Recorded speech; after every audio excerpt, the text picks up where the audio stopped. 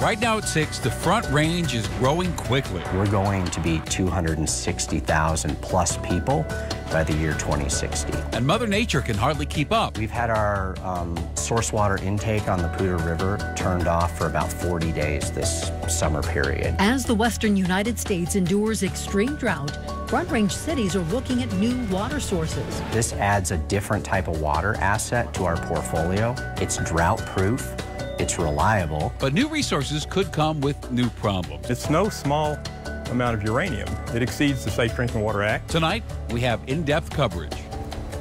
Good evening, and thank you for watching Denver 7 News at 6. I'm Anne Trujillo. And I'm Shannon Ogden. The western United States is drying up, and that's prompting cities all along the Front Range to act now to ensure we have water in the future. Now, I want you to take a look at this latest drought monitor of the western U.S., just released today. It shows extreme drought across much of the West. Now, those conditions stretch into northwestern Colorado as well. This is having an effect on the Colorado River, which is causing a domino effect throughout the southwestern U.S. The Colorado River starts in Rocky Mountain National Park, where it falls as snow. The river runs through Utah, Arizona, and into Nevada, where it flows into Lake Mead. 40 million people in these seven states, including Colorado, rely on the Colorado River for their water. But this is where the main problems lie.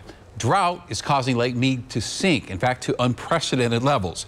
Just last week, U.S. officials declared the first ever water shortage on the Colorado around Lake Mead. So how does a reservoir nearly 800 miles away impact us here in Colorado? Well, for one, water restrictions could go into effect in our state to preserve water for the rest of the West. And these conditions are forcing local municipalities to look at other sources of water. Denver 7's Russell Haythorn takes us to fast-growing Greeley, where city leaders are thinking about the future. Like most Front Range communities, traffic uh, you know, is crazy. Greeley is experiencing tremendous growth. Here in Greeley, we're like steady Eddie at two and a half to three and a half percent, year in and year out, almost regardless of what the economic condition is. Today, the city's population stands at 111,000 people. Based on census data, state demographer projections, we're going to be 260,000 plus people by the year 2060. Because of that, planners like Water and Sewer Director Sean Chambers are looking ahead, especially when it comes to water. And the reality is we have to have a diverse supply. Greeley is already well positioned with lots of surface water. It's one of the largest shareholders of Colorado Big Thompson water rights with more than 20,000 acre feet. But much of Greeley's watershed sits in areas recently scorched by wildfire. 50% of Greeley's supply is impacted by the East Troublesome burn scar. Then you get debris and tremendous sediment and ash. On top of that, another 30% of Greeley's watershed is in the Cameron Peak burn scar. We've had our um, source water intake on the Poudre River turned off for about 40 days this summer period wow. because the water quality was too poor to treat. Because of those issues and a reservoir expansion project that stalled out, Greeley is further diversifying, recently acquiring an underground aquifer called the Terry Ranch Project near the Wyoming border. This adds a different type of water asset to our portfolio. It's drought proof. It's reliable. But the aquifer is not without its critics. I have great uh, concern that they will not be able to recharge it when it's empty. Mm. It's a one-time use. John Guthrie is Greeley's former chief water engineer and founded Save Greeley's Water, which also has grave concerns about uranium in the aquifer. And it's no small amount of uranium. It exceeds the Safe Drinking Water Act. Chambers says the water can be treated. The science absolutely proves that the uranium can be treated. Those who are saying it's undrinkable are ignoring the science. And he believes Greeley's plan is right on track. Absolutely. In Greeley. Our planning horizon is really about 50 years out to make sure that we're well prepared when that day comes. Russell Haythorn, Denver 7.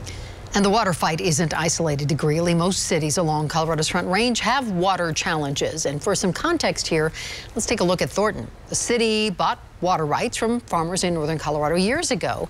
But the city's plan to build a 72 mile pipeline from north of Fort Collins to Thornton is tied up in the courts. Larimer County is fighting with Thornton over the pipeline's location. And of course, these water problems didn't just happen overnight, and it could be here for a while. Meteorologist Stacey Donaldson joins us now to uh, give us some insight here. And the West really, Stacey's been in a drought for a couple of decades now. It has, and we're really seeing the effects here um, in person over the, just the last couple of years with the drought and the dry weather that has moved into the western half of the United States. This is Lake Oroville in California. From June 2019, you can see the real change here from July to 2021, where things have really dried up across the area. And the same for Shasta Lake in California. As we've gone through the last couple of years, it has dried out with the drought for the western U.S. And here for Lake Powell, the red line is the same here for 2020 and 2021, but the water level dropped by 30 feet. So the climate change connection is not just affecting heat waves and droughts, it's increased tropical activity, shrinking Arctic ice, and record setting wildfires. And we're definitely seeing that as we've seen the top 10 hottest years all since 2005 here for the area. Western wildfires wildfire frequency also going up as our temperatures have gone up. And we're also experiencing more smoke here for Colorado and the western U.S. as these fires burn out to our west as things dry out. And we're going to be talking more about this smoke that will be affecting us even as we go into this weekend coming up in a few minutes. All right, thank you, Stacey. Now we'd like to hear from you on this. How do you think Colorado should address water shortage because of this drought? Any ideas? We'd love to hear them. 360 at thedenverchannel.com. We have some breaking news right now. US 285 is closed in both directions near Conifer because of a deadly crash. It appears two pickup trucks collided. We know at least one person died. At least three others were airlifted to the hospital, and still no word on when 285 will reopen. Members of Colorado's congressional delegation are weighing tonight on the bombings in Afghanistan that killed at least 13 now U.S. service members. Congressman Jason Crow, who served in Afghanistan as an Army Ranger, says we need to focus on getting Americans out of that country unharmed. The mission is not over until we get American citizens out and we get our partners out. Uh, that, that is the, the, the new mission. We ended our combat operations. We ended the 20-year war. But now we have a new mission in the next days and weeks ahead, and that is to make sure we don't leave people behind. The United States of America should not and must not leave anyone behind. Congressman Ed Perlmutter shared his condolences to the families, saying, I'm grateful for the men and women on the ground who continue to put themselves in harm's way as we work to complete this mission. Also, we heard from Congressman Doug Lamborn, who called this a tragic and horrific day.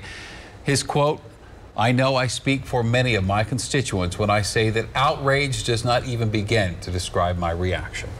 School has been in session for just a few weeks here in Colorado. We're already seeing outbreaks statewide. There are 14 outbreaks in schools in our state, most in districts not requiring masks. Denver 7's Gary Brode shows us where those outbreaks are happening and what the school districts are saying about them. Around the state, we saw 144 cases of COVID between students and staff from elementary school all the way up to high school. From Montrose all the way to Adams, schools in eight different counties dealing with outbreaks according to CDPHE's website. Keep in mind, an outbreak is five or more cases. As we head west, Mesa County saw the most cases with 30 in a total of four schools. Their neighbors Montrose, as well as El Paso and Dougco, not too far behind. As we head east to Dougco, they had 28 cases between four schools. Two of those schools had four staff members test positive for COVID. Douglas County tells us as of August 23rd, it's requiring all students in preschool through sixth grade to wear masks indoors. Staying in the Denver metro, Adams, Arapahoe, and Jeffco all had an outbreak at one school.